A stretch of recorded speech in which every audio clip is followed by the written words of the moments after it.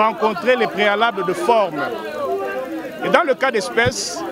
M. Gauthier a, a usé d'un droit constitutionnel d'aller en appel contre une décision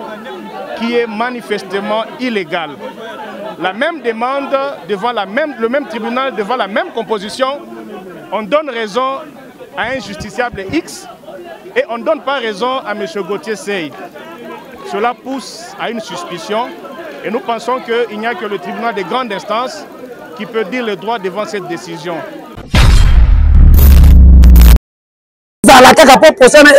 continue pourtant bamaître avocat bazali parti ngambo parti ngambo bazali wana to eza kobanga biso tozosenga afali te oh. tozosenga ye abimisaka bapreuve a ndeko na biso congolais aza burunde te aza uganda te na biso bautilisaki ye to rwanda te akongole ah, abimisa bapreuve wana c'est fini tokozonga toyebi ke fali na biso abokola biso na lokuta tozongi ndako papa ya bato ebenge lokuta hmm. lokuta oyo eza nini aconstruit carrière na masonge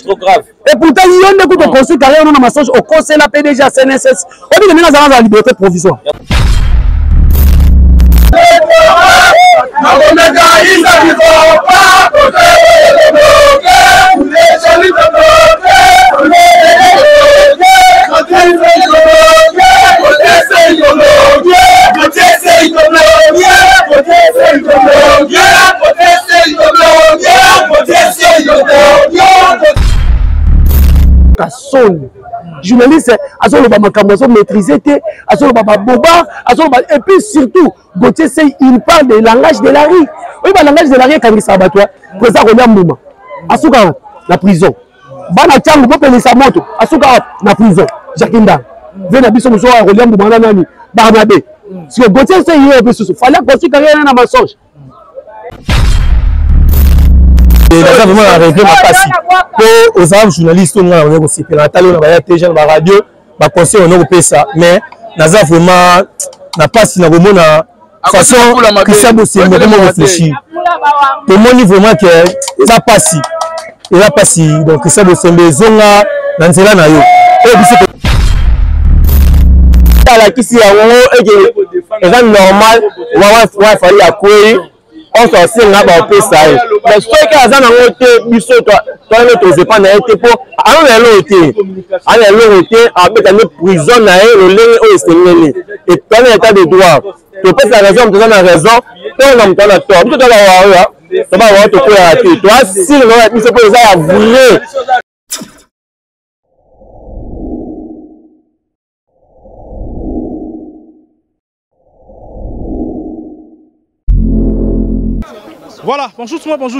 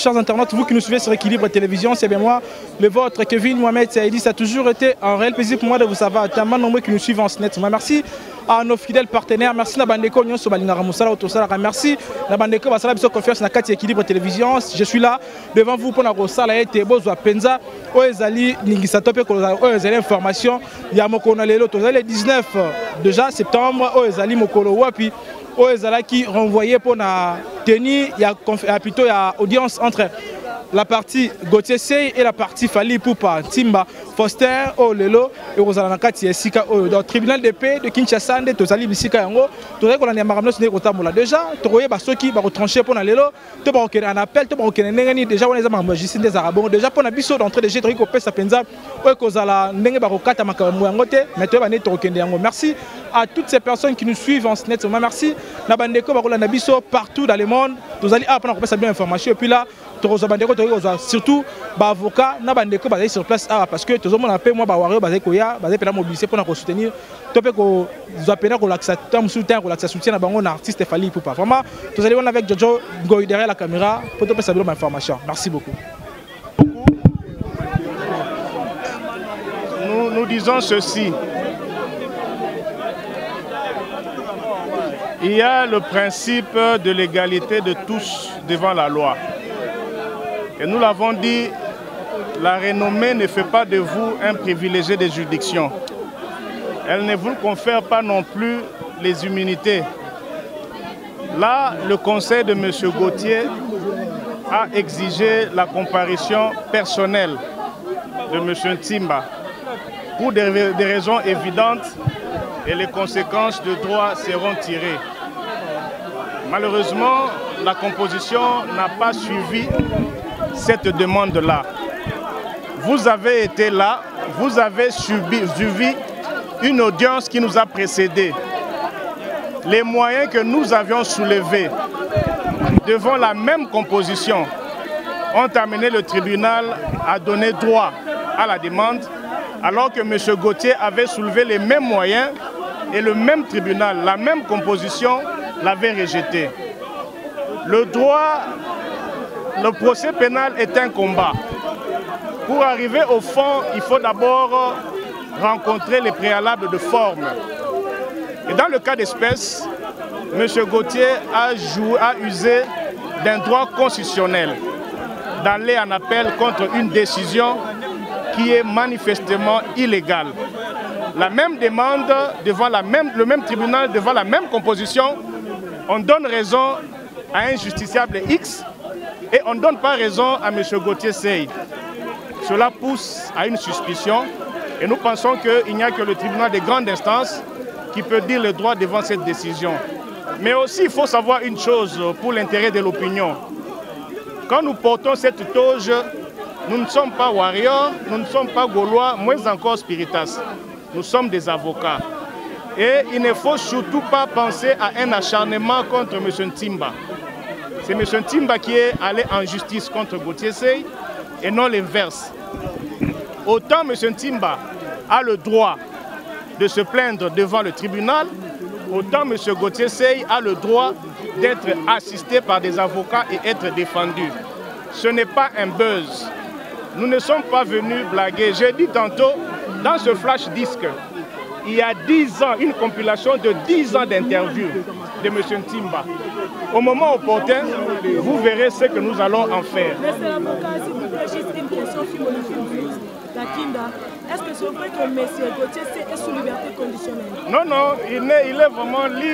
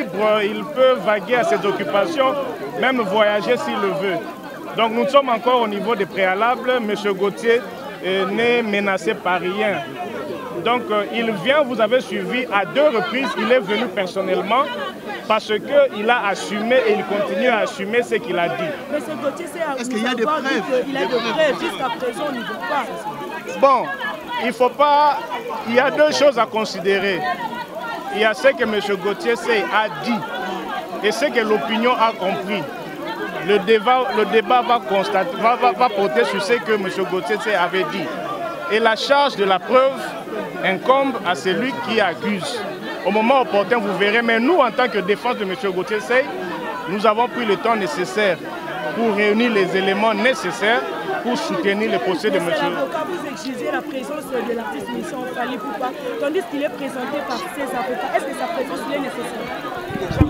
Au début, hein, il y a des questions que seul M. Timba auquel seul M. Timba doit pouvoir répondre. La première des questions, il faut savoir à qui nous avons affaire. Comprenez Il y a la personne physique, il peut y avoir un personnage, il y a une confusion qui au fait expose, n'est-ce pas Ne sécurise pas. C'est un préalable, nous pensons.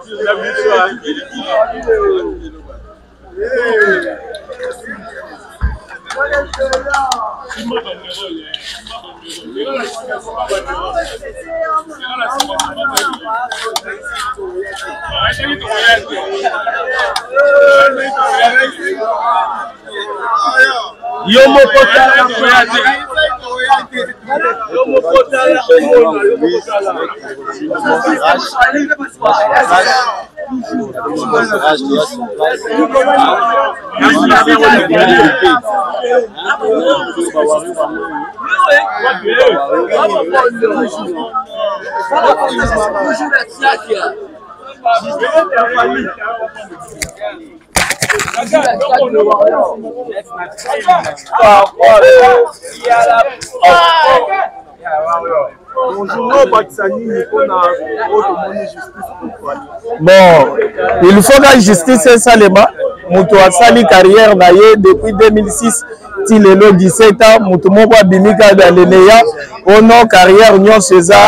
eza a construire yango sur mensonge eza bien te lelo toza na confiance ya justice nde toyoki akompagne bafati na suka tozozela justice asala mosala na ye tozawa ti makambo nyonso ndenge bakokata tokokende te tozawa eza ya lokuta tozela lelo aye na bapreuve biso tobanda kozela bapreuve bapesa bapreuve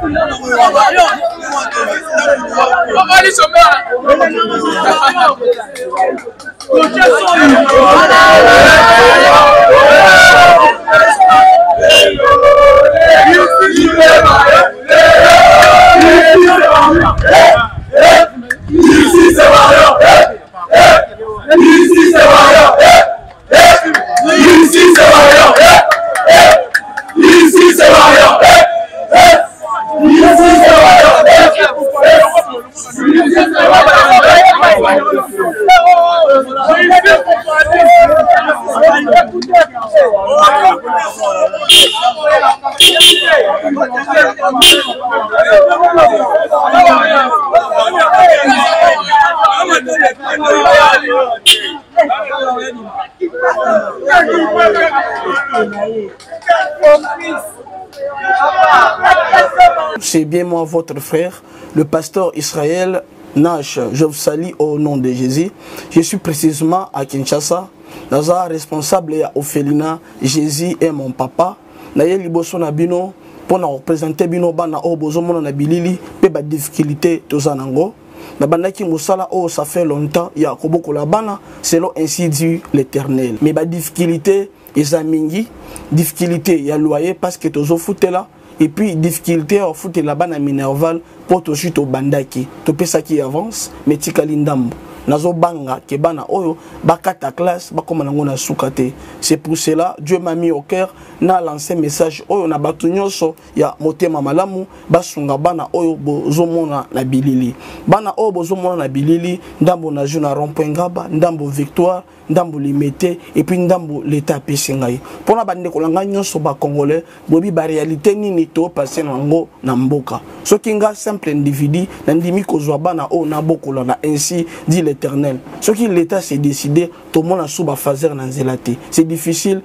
ya kosala yango nga moko c'est pour cela nazo lancer appel na bana nyonso ya nzambe mpo na classe ya bana oyo mpo na loyer na bango kolata mpe kolia na bango naosenga na bato nyonso baza cœur sensible mpe baza na motema kosunga basunga biso mpe basalisa biso toza na commune ya kalamu quartier kauka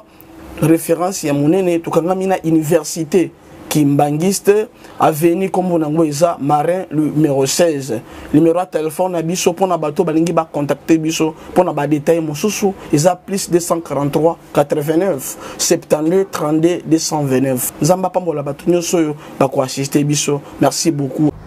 mbote mbote bandeko eza lisusu ngai mama mika la cosmetologue réparatrice ya loposo comme toujours nayelaka bino baproduit naturel fete à base ya bafruit sans hydroquinone ya lelo ya sika eye mafuta ya bana lait de beauté mika bebe en tout cas ezali de 0 à 12 ans esala bana na bino kitoko makasi je vous assure bosepela nango ezobongisa po ya bana ezorendre yango lise propre très agréable ezala bana mwana bimaka bambuma na nzoto ba, ba, ba mapalata bamakodia banini en tout cas ezosoigne mpo ya bana kitoko makasi mama mika amemeli bino lisusu bandeko pomade na biso vimbovi pomade oyo ezali pomade raffermissante mpo na mabele basin epuis bassin na bamole en tout cas ezovimbisa makasi bandeko bosala bacommande bopase bacommande na bino bokosepela na yango makasi nzoto yaya papa mama tobongisa yango kaka tozali na pomade na biso ya suki e bato oyo suki ekatanaka pambapamba bato oyo suki ezalaka pepele bato bazala na mabandi solution yango eye baproduit très naturel toza na pomade ya suki toza na huile ya suki huile oyo ezosunga bato bazala na basalite na bacuire chevelire na bango bapoussière baloto oyokaka mokusa yo so bayoka yango soki okomaka mal à l'aise solution yango eye huile na biso huile cheveux mika ekosunga biso makasi toza na pomade oyo ezovimbisa suki suki ekoma noir ekoma kitoko bandeko boya ebele tozali na crème na biso te metisi mpo na basi ya pembe mibali ya pembe bandeko na nga ekosala yo bien yo motu pembe na yo egata yaka mbangu passe commande na yo ekokomela yo tobosani te basi ya mwindu basi ya shokola mibali ya mwindu ya shokola crème de beauté mika yango oyo ezali mpo na bino bopase bacommande esala bino bien makasi toza na beurre de karité na biso pure bio yango eye bandeko esilaki bopase bacommande eye toza na crème réparatrice mika mpo na bato ya problème ya tampon cancer de peau barougeâtre banoir nduta solution yango eye boya ebele toza na pomade antisola mapeka na deux jours apamba sola mapeka esili boya ebele toza na gommage café mpo na kogoma elongi oza na pomade mabouton graisse bokima lombango gommage yango ye toza na savon noir fait à base ya café okozala très à l'aise na douche na yo boya ebele huile d'anana huile d'anana yango naturel en tout cas bokima mbango totika kotya tshoko e totika kotya tshoko bamama bapapa naloba yango heure nyonso tu toa na biso na possibilité nyonso ya koretrouve te na biso normal oui. ezala ebebaki ekomaki ndenge nini nayebisaka mm. bino solution yango oyo solution yango oyo totika kotyaka tshoko bamafuta ezobebisa bato totika hydroquinone numéro plus 243 89 98 27 674 notre adresse commune à Kalamou, quartier Matongué, avenue Pose au numéro A17, référence cabine à courant. Justice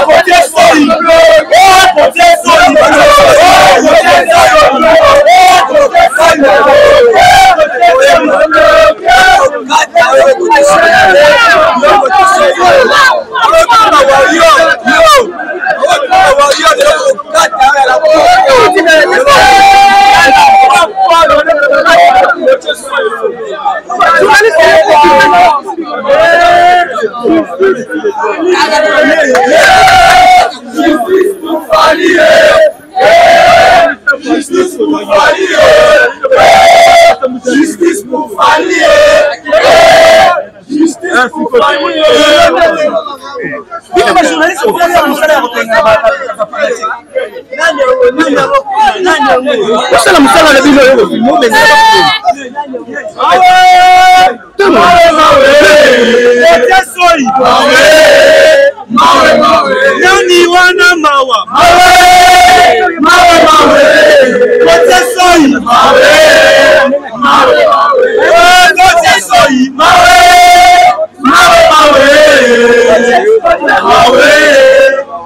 naza vraiment na regret makasi mpo oza journaliste oyo ngai nakoki kosepela natali oyo na baya teja na baradio ba conseil ono kopesa mais naza vraiment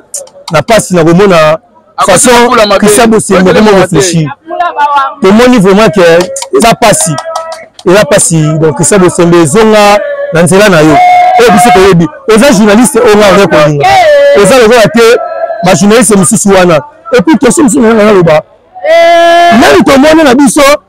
Emmanuel Macron aleka na info sport te soki omoni Emmanuel Macron aleki na info sport seka yoloba na mabale makambo ya rikibi na makambo etali sport ozobengisa fali na émission komona yango bosoto na politique awa sani fali aza politicien yango na fali ayembelaka bapoliticien moko te donc soki obengisi fali fali aboyi na ye koya yango ekomi ngambu elingi kaka yo te fali fo asala fali fo asala te oyo nyonso eza par rapport makambo wana fali ipupa aza artiste international toza na mposa bamusicien wana bandima fali ipupa te ah. mposa otali bastar oyo babulu na boy lelo bulu na boy abeti 40 000 place na paris na defense arena esika fali azobeta bon fali lelo azoleka ye mpo fali azobeta 50 000 place ah. kuna ya basani kuna ya basani yango esala bino na maroc yango toyebisaka bino bacongolais mwana mai wana alingaka bino te maître chips maître chips alingaka bino te congo boboyaka biso ti boboyaka biso yango apesi biso raison akesisa babia na maroc ah bino eza pesa bino ata mvunga pamba apesa koko moko bakufi na mama mwasi apesa fali mpo bapesa bambulance tomoni fali mpo bapesa biloko ebele biso tomoni okoprendre azopesa babiloko ebele me lelo me lelo maître chips yo na ozosala badon eh, maître chips oyo azala na france abengani na france wana oyo akoma jalo afali soit disant aza artiste ya monene me lelo akoma na ye complexe ya fali biso omona fali afilma artiste moko afilme eboye naye afilma fali aigle eh, bavideo ezali ozo comprendre artiste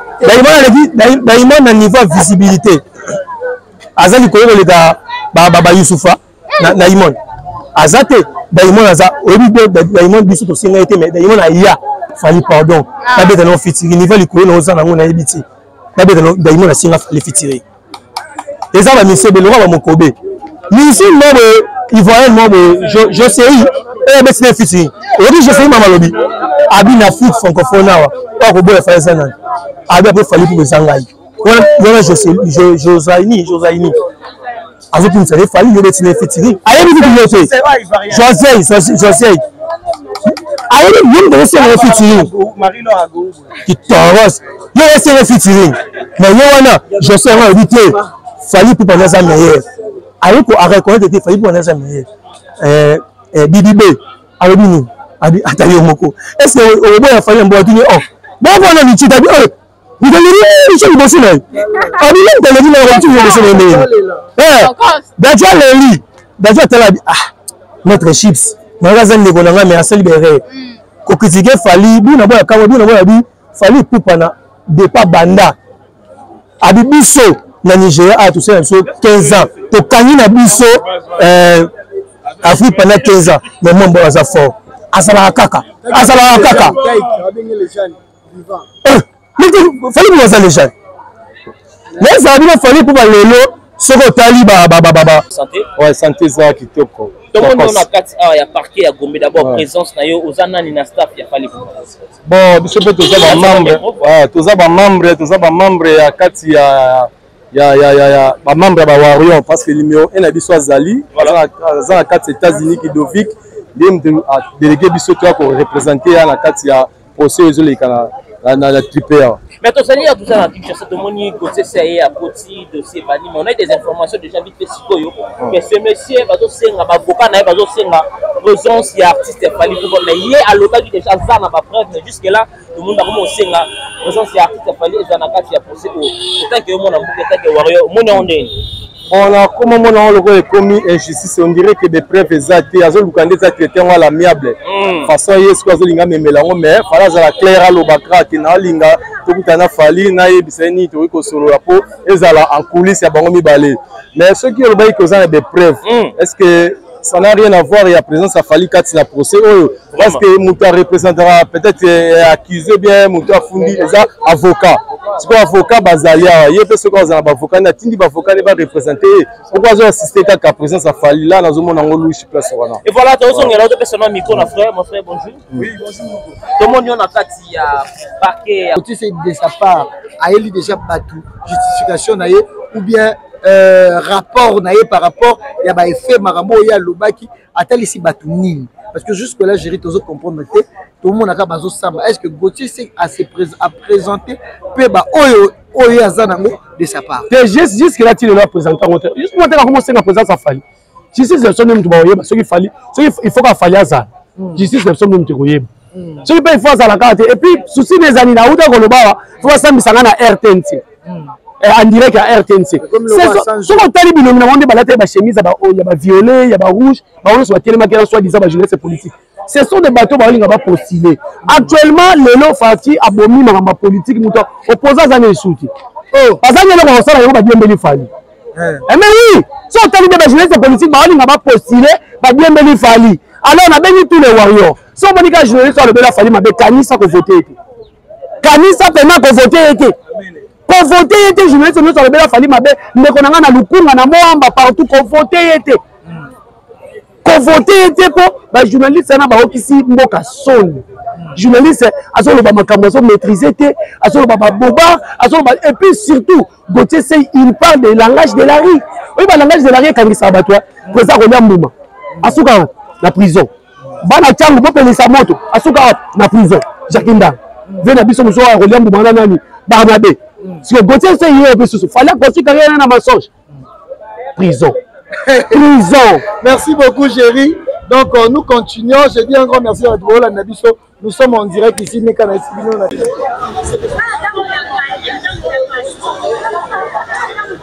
wana matalana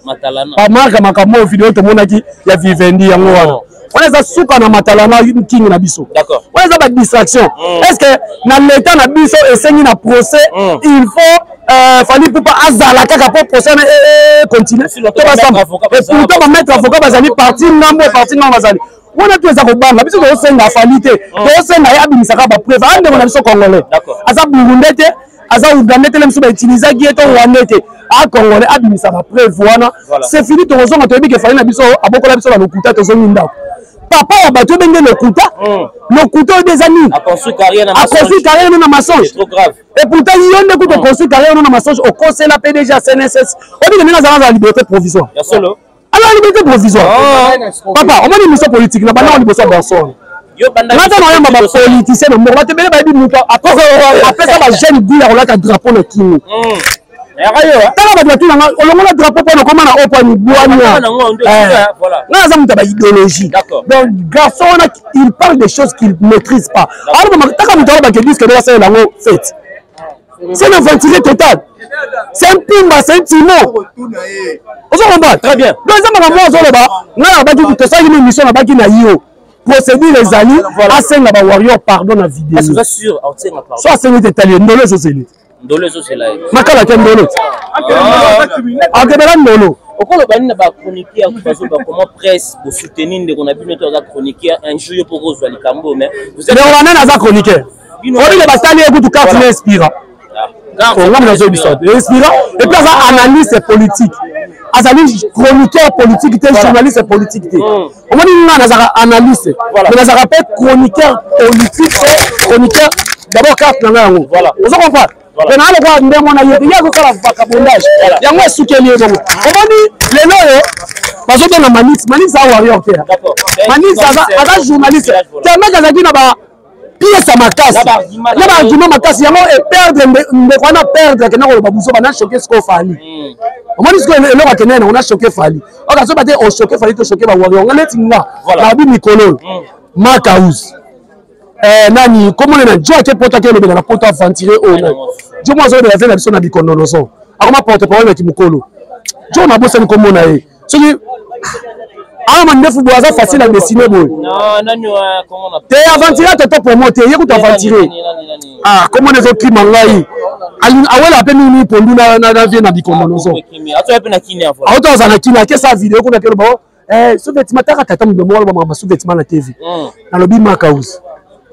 semi bato nguvi voilà bango nyonso tu wana na mwana mosusu bogard de la presse ne au village grande au village expédie à kinshasa comme marchandise voilà donc pas paroles so boza mibali bosala video na kini boyo bakaka fali bolongola lipupa voilà je mets tout le monde à défi baotanga koma fali te oyo alingi alanda gotie seki atanga su koma fali Donc, si tu as envie de faire, le lot aux awa, si aujourd'hui, justice a une décision qui est, pour essayer, à remporter encore le dossier, oh, réaction, bah, on a réaction en personne, mais vous avez. Tolini makambo ko remporter dossier qui parce que biso tozala makambo na biso tokosala tosepela nano afrima mibale tozwi le trophée mm. epuis tozolinga tokɔta na campagne ya baconcert fale aza na concert na uganda na stade ya uganda ah, yoka sikoyo siko ministre nini kongola koriske atya mikro boye na stade ya uganda ayembisa lingala soki fali te eh, ata yo moko ata yo moko ata yo moko hmm. donc ndeko na biso eza kutu te po nga mpe nalotaki yango ya na ndoto nalotaki ke baune semaine mais tolingi makambo asenga te hmm. eloko nyonso esilaka filme ya yesu kutu esila babaka yesu na ekulusu mpe esila hmm. mais soki mpe balobi susu oyo basenga asenga euh, comment on appelle asenga swati euh, procédure mpe eza pardon yeyo procédure abe eza pardon asenga pardon na tous les mm. warrior bake bandeko mm. ba utilisaki nga mpa kingandi kingandi kingandi kingandi ocomprendre ocomprendre donc epuis biso tokoprotege ye nga aprotege ye soki alobi batindi nga mpa kingandi kingandi kingandi kingandi mpo mm. loma gom aya kosenga pardon na tv ofini fali na tv osenga pardon na tv sikoyo soki atye kiteti bajournaliste oyo namonaki ya bilongi balati babiloko baviole baza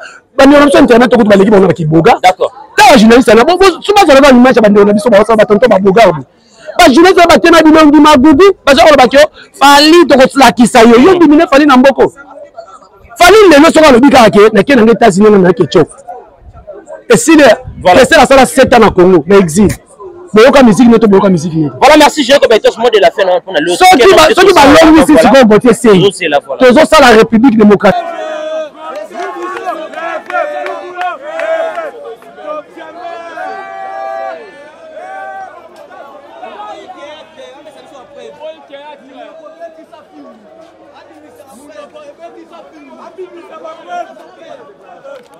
Thank you.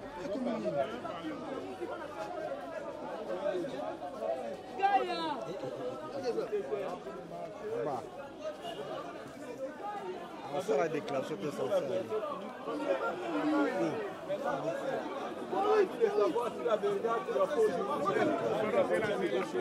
ne fait pas de vous un privilégié de juridiction. Elle ne vous confère pas non plus les immunités. Là, le conseil de M. Gauthier a exigé la comparution personnelle de M. Timba pour des raisons évidentes et les conséquences de droit seront tirées. Malheureusement, la composition n'a pas suivi cette demande-là. Vous avez été là, vous avez subi, suivi une audience qui nous a précédés.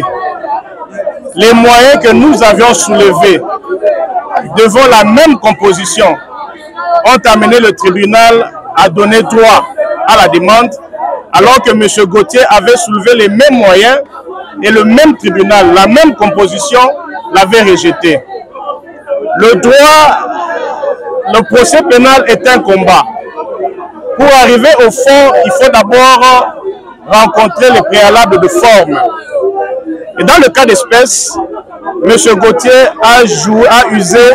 d'un droit constitutionnel d'aller en appel contre une décision qui est manifestement illégale la même demande devant le même tribunal, devant la même composition, on donne raison à un justiciable X et on ne donne pas raison à M. Gauthier Sey. Cela pousse à une suspicion et nous pensons qu'il n'y a que le tribunal de grande instance qui peut dire le droit devant cette décision. Mais aussi, il faut savoir une chose pour l'intérêt de l'opinion. Quand nous portons cette toge, nous ne sommes pas warriors, nous ne sommes pas gaulois, moins encore spiritas nous sommes des avocats. Et il ne faut surtout pas penser à un acharnement contre M. Timba. C'est M. Timba qui est allé en justice contre Gauthier Sey et non l'inverse.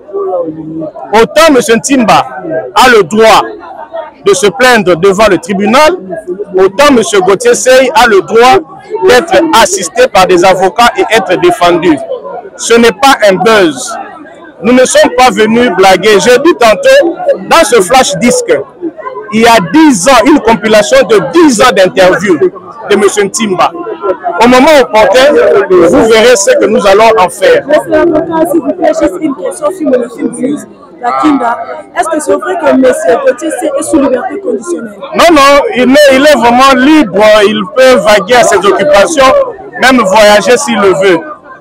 Donc nous sommes encore au niveau des préalables. Monsieur Gauthier n'est menacé par rien.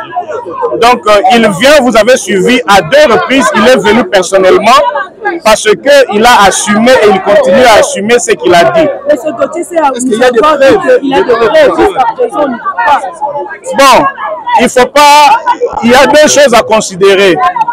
Il y a ce que M. Gauthier a dit et ce que l'opinion a compris. le débat, le débat va, constater, va, va, va, porter sur ce que M. Gauthier avait dit. Et la charge de la preuve incombe à celui qui accuse. au moment opportun, vous verrez. Mais nous, en tant que défense de M. Gauthier Sey, nous avons pris le temps nécessaire pour réunir les éléments nécessaires pour soutenir le procès de M. Vous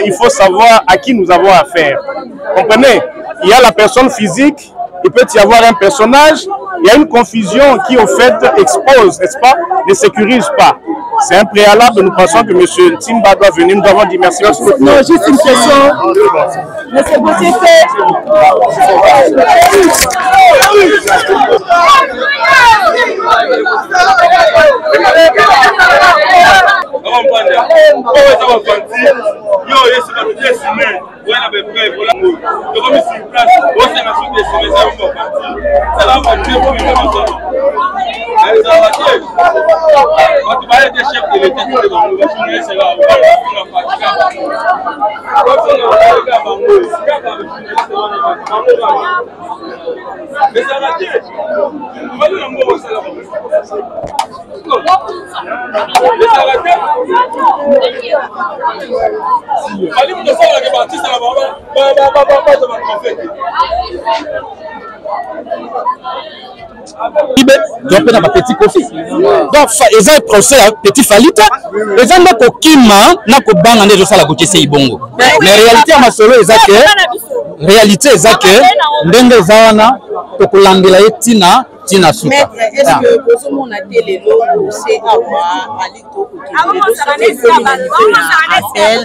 est-ce que vous aurez possibilité de défendre votre client ou encore est-ce que client na bino ekozala mpona des faveurs ya fali ipupa te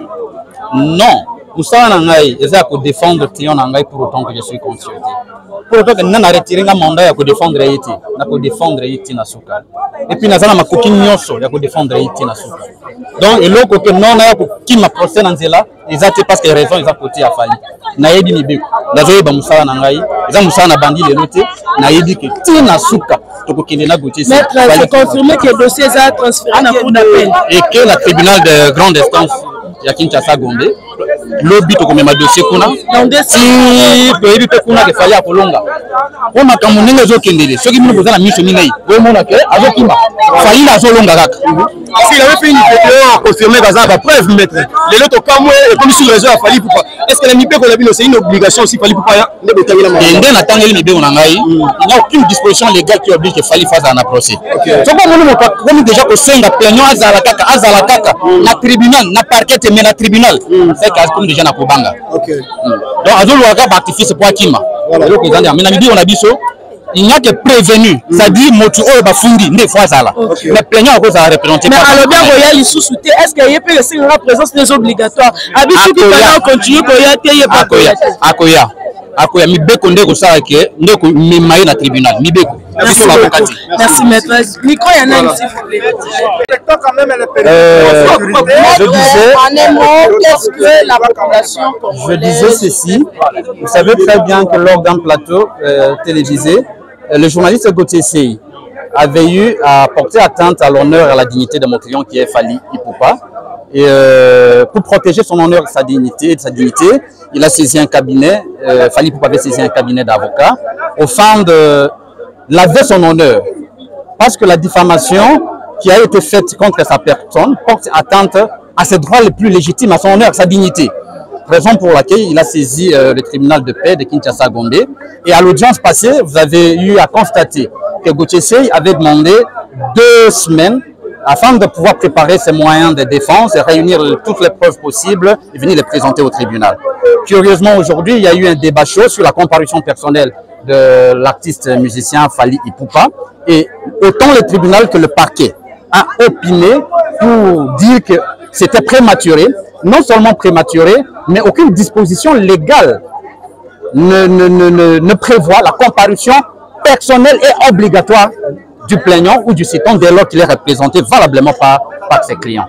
Raison pour laquelle euh, on a demandé à, Gauthier de présenter ses moyens de défense s'il avait encore d'autres prétentions. Curieusement, au moment où on voulait procéder à l'inscription de la cause pour qu'il puisse présenter ses moyens de défense, présenter les différentes preuves qu'il avait, il a brandi un acte d'appel pour dire que non, il est mécontent de la façon dont les choses sont en train d'être faites. Et là, nous savons que lui ne sera pas à même de fixer cette affaire parce qu'il est déjà en train de, Il est pris de peur. La, réalité, c'est qu'il est pris de peur et il cherche des échappatoires,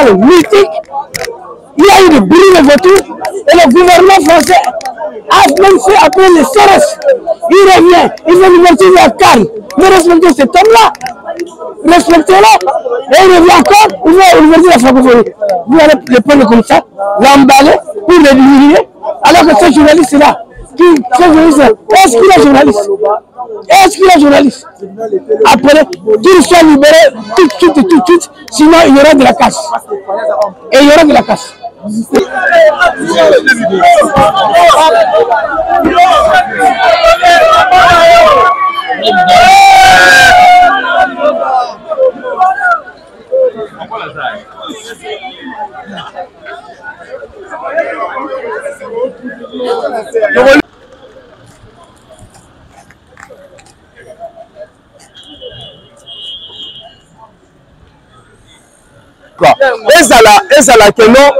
ezala keno aye kosenga pardon seke savedi soki asengi asengi pardon te to alobi eloko moko ya malongo eza te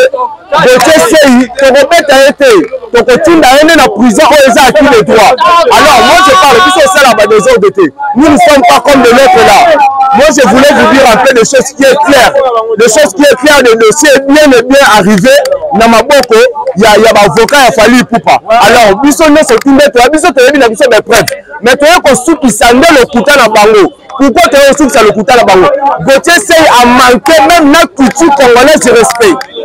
est ce que bozo comprendre eloko donc tout le monde parle de fali maintenant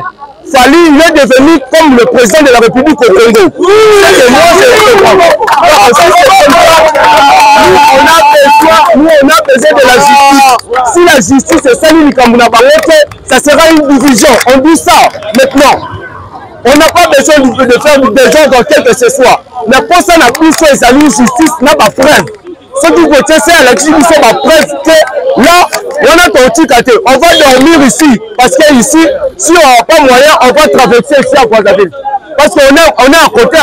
avec Brazzaville parce que on a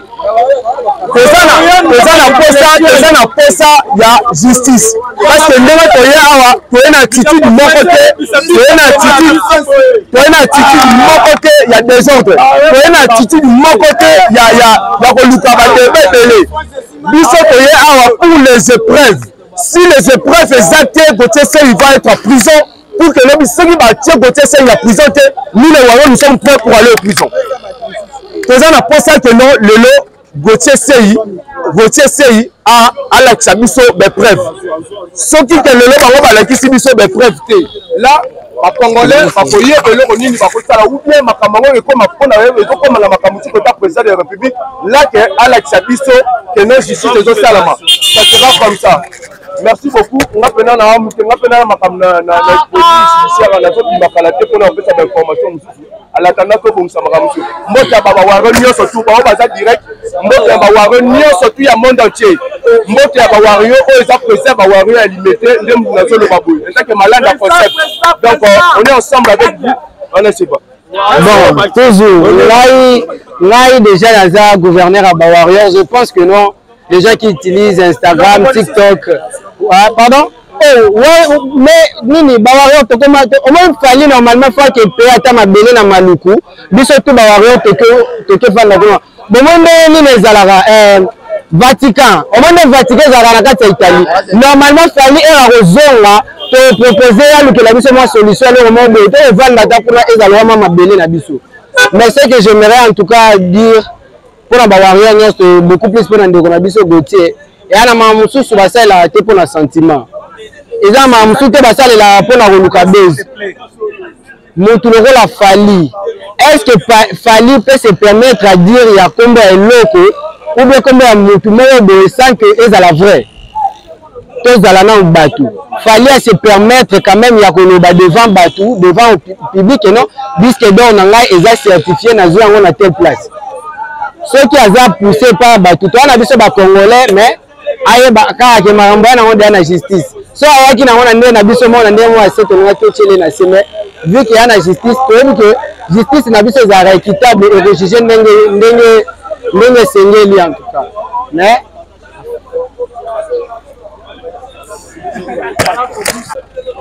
Bonjour. Ouais, bonjour.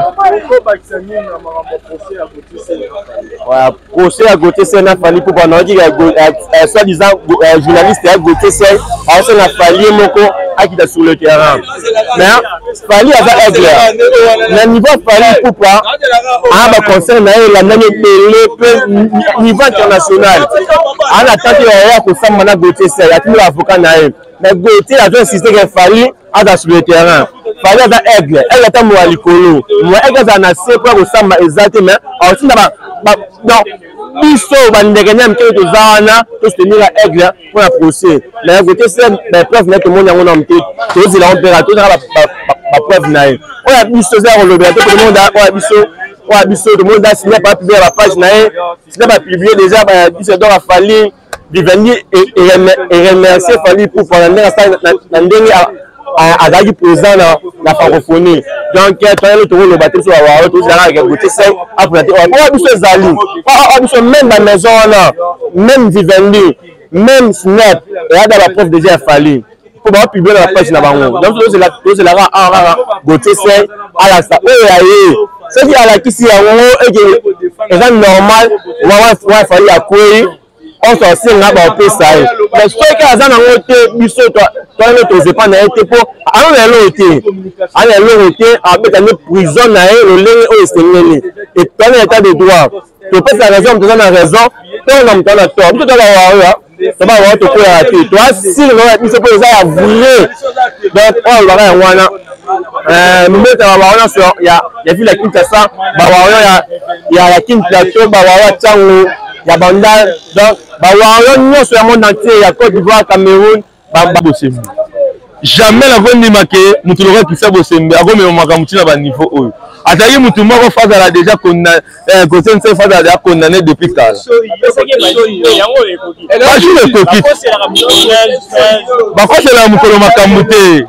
mokolo bakoselaka makambo na r te jour yango yango oyo tolobaki tokoma le 19 le 19 awa yango yesu ayela biso bapreuve tangible oyo ya reni aso reni aya na yango awa tolakisaki ye fali aza na prediske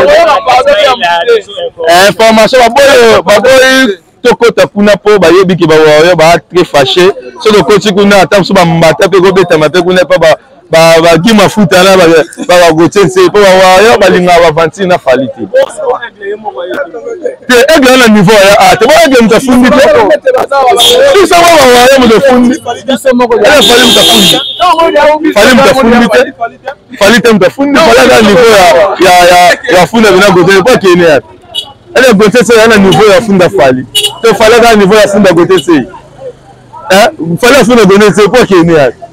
ayebi ye te amona ye te aluka bezi maso yango te fali moto asalaka bango te kena baartiste na bango azala trofe te ebe succès fali ekangi esala bango mitema pasi so omoni kokoka supporte succès fali te kota na ndako lala kobima su libanda te seke baprobo bote se ya akenda na emission ya papa sango seke nyonso eza yango ya eza nyonso ya lokuta kisa bosembe ayebi président sesaka ayebi basalaki nini basalaki ngai naza un collègue aza na kati ya paris nakobimisa yango kaka sikoyo alobi moto informa nga liboso ke monsieur israel mutombo azwi 12 na vivendi eza masa wana azwi 12 na vivendi bayebisi ye soki obimi te dans 3 minutes la polisi moto akanga ayebi makambo oyo tooloba ifalaki aya demontre yango ye nde oyebelisa yango ya biloba loba anga aloba yango na tv da te soki olingaka fali te seke biso mpe peuple tosala nini tolinga yo te toza na temps ya baélection biso tosoutenir mokonzi ya mboka tolingi te babiloko baartiste lokola bafali baza baharmonie ya congo